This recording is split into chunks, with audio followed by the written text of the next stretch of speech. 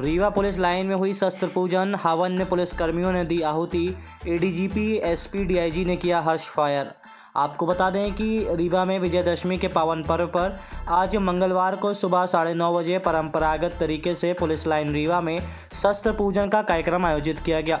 करीब डेढ़ घंटा चले इस कार्यक्रम में अतिथि के रूप में ADGP Rewa zone K P Venkateshwar Rao DIG Mithilesh Shukla एवं एसपी रीवा, विवेक सिंह, नगर निगम आयुक्त संस्कृति जैन, जिला पंचायत सीओ संजय सोनवड़े सहित सीएसपी एवं अन्य अधिकारी उपस्थित रहे। आपको बता दें कि कार्यक्रम की शुरुआत में पहले पंडित ने एडीजीपी एसपी डीआईजी से लाइन के शस्त्रों की पूजा करवाई, इसके बाद हवन की शुरुआत हुई, जिसके अंत में आहुति पूजन के दौरान मौजूद सभी पुलिसकर्मियों ने दी।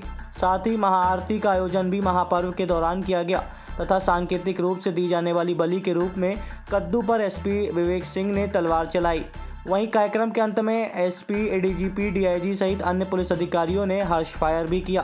पूजन के दौरान करीब आठ राउंड हर्ष फायर पूजन के तहत किए गए शस्त्र पूजन को लेकर आयोजित कार्यक्रम में additional SP Anil Sonkar, CSP Shivali Chaturvedi, DSP traffic Manoj Sharma सहित आरआई एवं अन्य सूबेदार कर्मी उपस्थित रहे।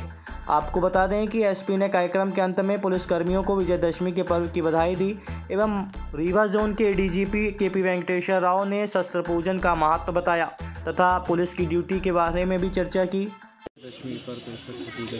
ठीक है, पहली बात तो पूरे रीवा वासियों को नवरात्रि के उपरांत जो है दशहरा की मैं बहुत बहुत शुभकामनाएँ। विजयदशमी आज हम सब मना रहे हैं। आज पूरा रीवा शहर में और रीवा गाँव में सभी लोग मना रहे हैं। आज विजय जुलूस भी होगा, रहन दहन भी होगा। ठीक है, आप सबको फिर से शुभकामनाएँ। पुलिस भी, आप लोगों की तरह हम भी त्यौहार मनाते हैं। हम लोग आज क्या शस्त्र पूजा करते हैं। तो आज जितने भी शस्त्र हमारे ज़िले के सभी का आज उसका पूजा अर्चन होगा।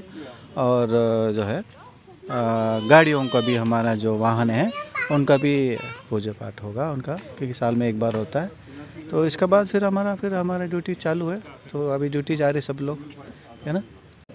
अ, सभी रीवा वासियों को रीवा पुलिस की तरफ़ से बहुत बहुत शुभकामनाएँ दशहरे की और विजयदशमी की और जो नवरात्रि का पर्व निकला उसकी भी बहुत बहुत शुभकामनाएँ। सभी के जीवन में सुख समृद्धि और शांति है। इसी कामना के साथ पुनः सबको शुभकामनाएँ।